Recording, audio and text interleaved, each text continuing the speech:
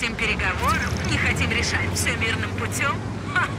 Ну вот теперь пусть получают, чего хотели.